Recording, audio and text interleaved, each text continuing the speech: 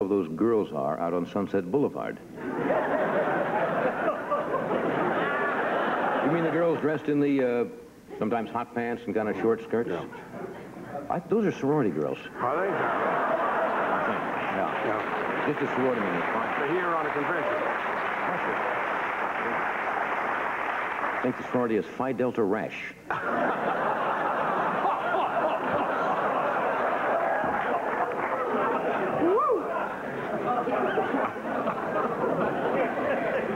Valerie Kimball, does Ed really drink a lot?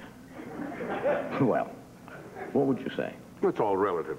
A lot to somebody might not be a lot to me. Well, let me, if I can put this in perspective. Um, you donated blood to the Red Cross. Yes. And you were turned down because your blood had a head on it. That's a, Does that kind of answer the question? Lonnie, last name is L-I-D-E-N. What's first name? Connie. Leiden or Lydden? Where are you from, Connie? Chicago. Yeah, Chicago. I want to move to California. Do you have room in your mansion for me? There's no room in my mansion for me. You.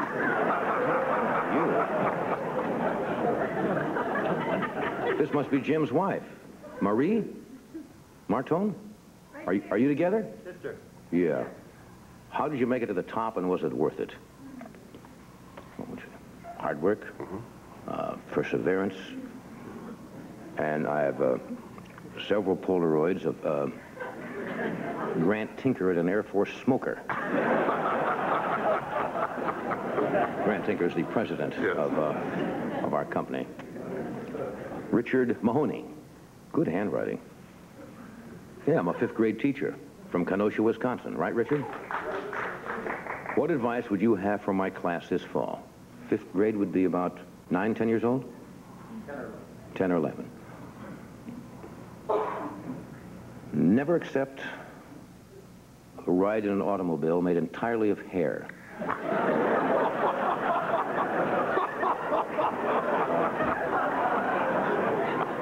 good advice.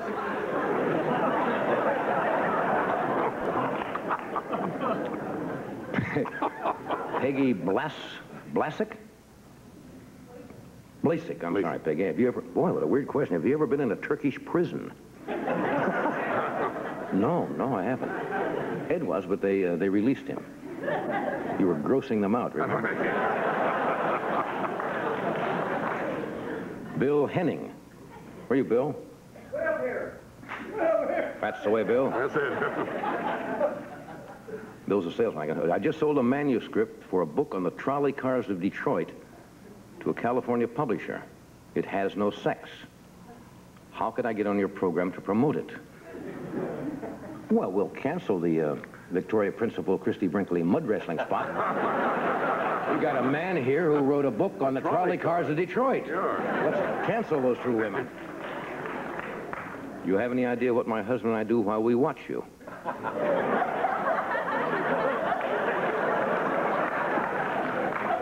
Safe to rule out miniature golf, I suppose. Roger Olson? Where are you, Roger? Robert, I'm Robert. sorry, Robert. Gee. Maybe two of them.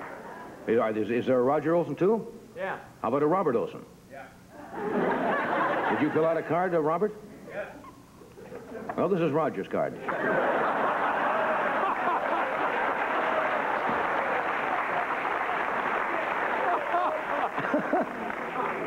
Roger seems to be steamed here. He says, why couldn't I bring my camera inside?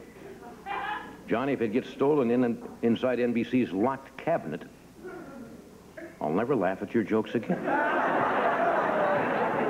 You fell for the old locked cabinet? You got everything. Do we have a locked cabinet here? We do tonight. Remember last week, a Sure. guy gave his wife to a page thinking he was, you know. I, I guess they do have. Uh, Yeah.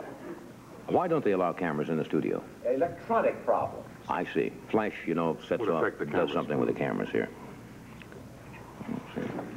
It's a long question. Yeah, Kathy V, from New Jersey. Yes. What? Yeah. Via. Via?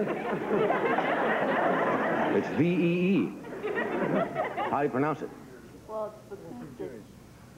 Uh, Excuse me? It's Bakusich, but I doubt you could say it. Well, it says Kathy V-E-E. Well, I abbreviated for you. Make it easy. What is it normally? V-E-E-E? Or... no, I'm just kidding. Kathy Vukovic? Oh, well, That's close. Okay.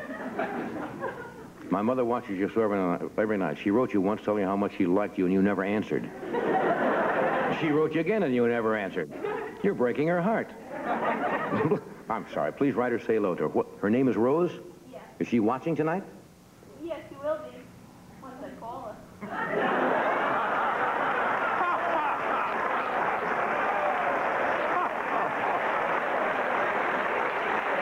In other words, if you don't call mom, she hits the pearly whites and goes to bed. Okay, Rose. Rose is her name, right? Yes. Is her name Rose V? Or same, same as yours. Okay. What's in your name? Your wildest fantasy? Ask Laura Cole. Let's get some. Yeah. I don't know if I But should. you haven't. Tell them. Go ahead. Well, we all have fantasies, but you don't. Yeah. Some things are per- personal and, Yeah. and intimate. It involves five um, Asian girls and a forklift truck. Uh, no, I don't. I just uh, something silly like that. Those are strange questions. We have a good show tonight. You're picking up something. Yes. Was Just this- trying to help you. Was this need for that. me? Yes. Okay.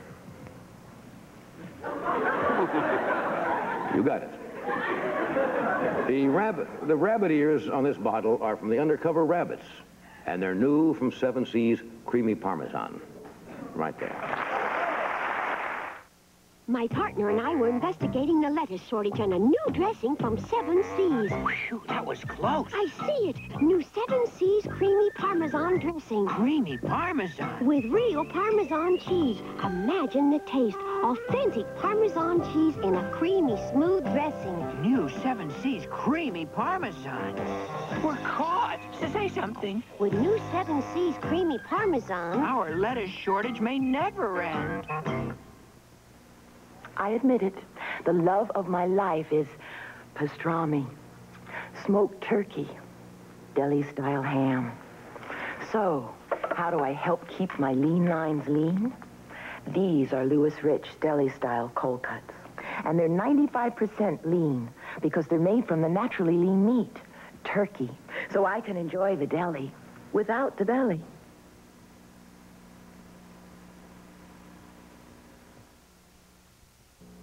Crab leg lovers, your ships come in. It's Red Lobster's Create Your Own Crab Legs and Seafood Platter. Start with steaming crab legs. Then add any one of 10 seafood favorites. Crab legs and fried shrimp. Crab legs and stuffed flounder. Even crab legs and juicy langostinos. The choice is yours. But hurry, this special offer ends August 28th. Red Lobster's Create Your Own Crab Legs and Seafood Platter. Create yours tonight. Beautiful savings during Dillard's August home sale. Save as much as 50% and more on quality labels including Springmaid, Martex, Wamsutta, J.P. Stevens, and Fieldcrest. Luxury sheets with romantic accents, plush towels in dazzling colors, rich Burlington woven classics, Johnson Brothers fine English ironstone, striking Mikasa dinnerware. Beautiful savings, as much as 50% and more during Dillard's August home sale.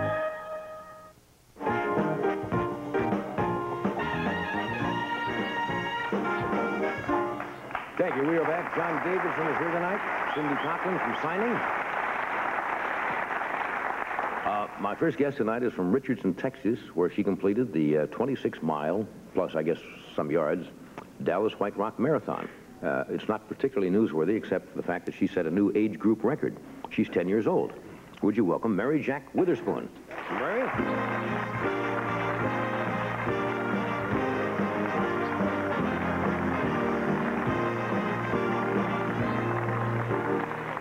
That's what I like, affection. How are you? Fine, how are you? I'm fine. That's good. Good, thank you. Did I call you Mary? Mary Jac or what? Mary Jac. Mary Jac. That's an unusual name, isn't it? Mm-hmm. Yeah, it's a pretty name. How are you? Fine. Whereabouts is Richardson, Texas? Is that a Um, big town? Sort of. It's Sort of. Pretty big.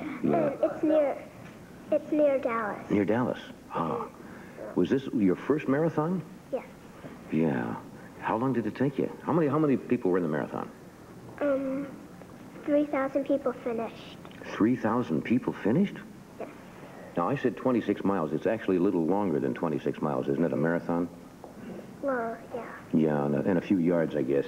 Now, you were the youngest person? Youngest female. Youngest female? Yeah, well, you're female, all right, I know that. Uh, to finish the race. What was your time? Five hours, three minutes, and 40 seconds. That's very good. Very good.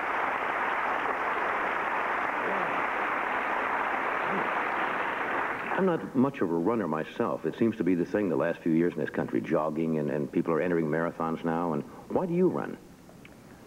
Because I like to. Yeah? I'm pretty good. Well, you, you're very good at it. Thanks. When did you find out you were pretty good at it? Mm, I guess when I was about eight, When you're about eight? Nine. Nine. probably nine. probably nine. Somebody told me you got a pretty good giggle on you. Uh, what's the first race? How did you start Well, running in a marathon? It's kind of unusual for somebody your age. hmm at first I was just going to run the first 13, Mm hmm and And you say the first 13, the first 13 miles? yes, with my friend, and encourage my friend Emily Ward along. Yeah. And then two days before the marathon, my dad told me that if I wanted to, I could, and so Yeah. I said that I'd love to. Right. And so Saturday came and he said that if I didn't feel good, that I could just drop out at 13. And I felt fine, so I just told my dad to come on, and he came on, and we started. He rode his bike the rest of the way, and I ran. Good. So your dad was riding the bike while you were doing the running. Right. So you got to 13 miles, that's halfway. And he said if you didn't feel like it, you didn't have to finish, but you felt pretty good then, huh? yes. Did your dad ride along with you the rest of the race? Yes. What did he tell you to, to keep you going? Did he kind of... He told me that um, he kept on complaining that his bottom was hurting from the seat.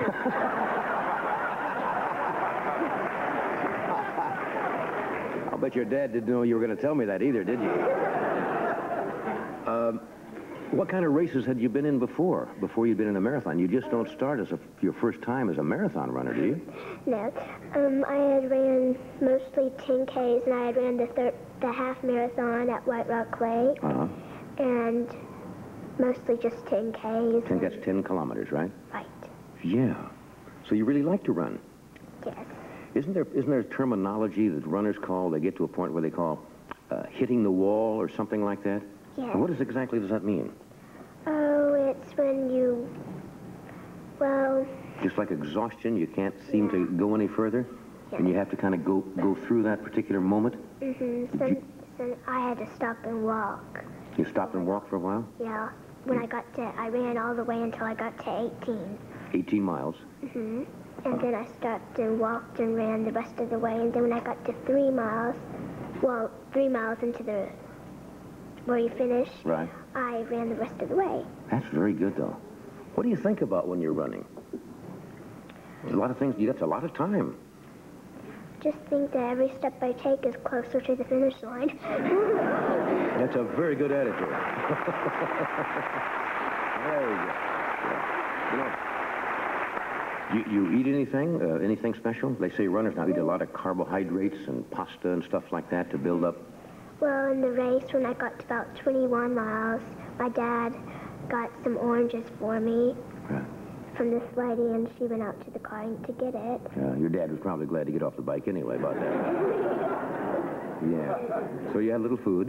hmm Now, they say running is a good way to meet, well, fellows, a lot of fellows run to meet girls. Now, they say a lot of girls, you know, you meet a lot of people